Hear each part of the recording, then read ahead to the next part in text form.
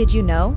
The ancient Greeks were pioneers in mathematics, philosophy, and architecture, laying the foundations for Western civilization.